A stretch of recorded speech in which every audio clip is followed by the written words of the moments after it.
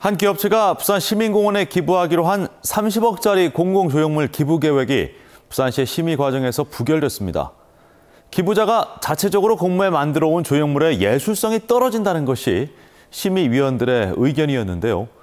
기부 철회 가능성까지 예상되고 있는 가운데 기부 의사를 어디까지 존중해야 하는지를 두고 논란이 일고 있습니다.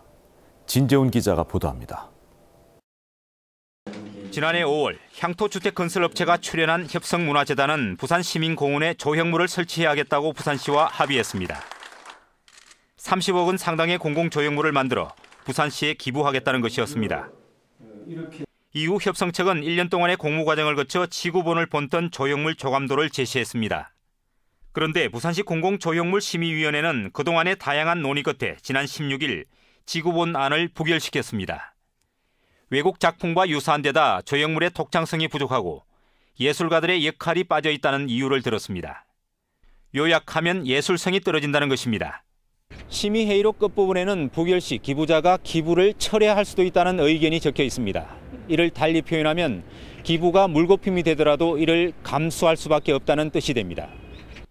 이에 대해 기부자인 협성문화재단 측은 유감스럽고 안타깝다라며 완곡하게 표현하면서도 기부 철회 여부와 관련된 언급은 극히 자제하고 있습니다.